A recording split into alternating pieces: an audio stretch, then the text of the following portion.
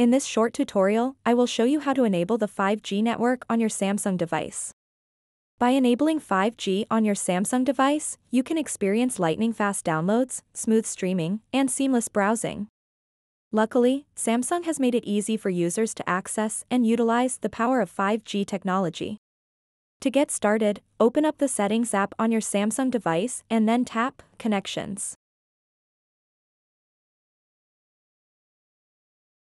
After that, tap Mobile Networks.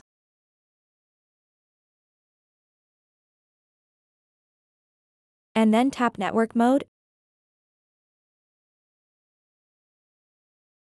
and tap and select the 5G slash LTE slash 3G slash 2G Auto Connect option. If you have another SIM on your device, select this option for that SIM too.